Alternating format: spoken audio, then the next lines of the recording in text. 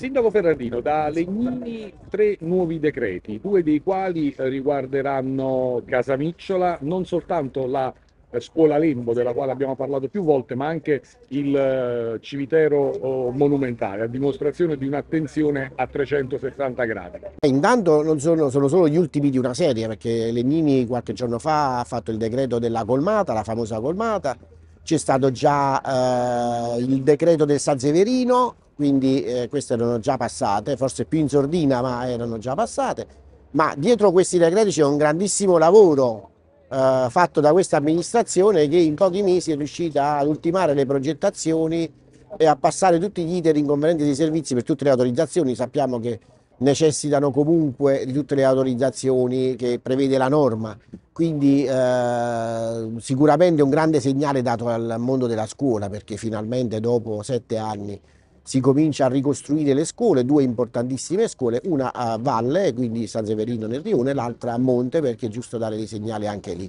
Verranno due scuole all'avanguardia dove i nostri ragazzi potranno studiare finalmente in ambienti salubri, in ambienti idonei, dove potranno dare il meglio di loro, di loro stessi. Quindi ecco, stiamo, stiamo seguendo il cronoprogramma che ci eravamo prefissi, eh, probabilmente anche con un po' di anticipo. Sindaco, è chiaro che nell'immaginario collettivo l'aspetto più affascinante, no? non c'è dubbio, eh, sia quello del waterfront, che per ovvi motivi più di ogni altro stuzzica anche la fantasia, ma all'atto pratico cosa cambierà con eh, questa rivisitazione eh, dell'area fronte mare del paese? Vabbè, intanto avrà un impatto forte, quindi si vedrà un grande cambiamento rispetto al passato come, come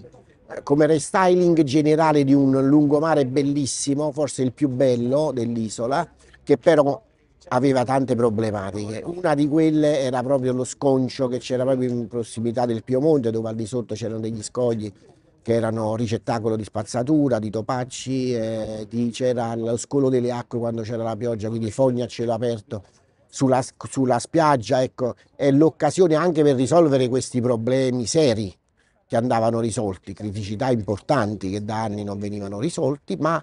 eh, si coglierà l'occasione per banchinare quindi questa parte, il che consentirà di avere una darsena nuova e quindi un ampliamento importante per il porto, per la, per la portualità che riteniamo possa essere turistica, perché c'è sempre, voi sapete che in quell'area già accogliamo i mega yacht, dobbiamo modificare sicuramente l'aspetto ma anche l'efficienza dei servizi, quindi quando un turista e soprattutto quel tipo di turisti scenderanno a terra troveranno un ambiente completamente diverso, idoneo, eh, anzi necessariamente diverso per un paese turistico come Casamicciola rispetto al passato. E siamo sicuri che quindi aumenterà enormemente l'appeal del nostro scalo.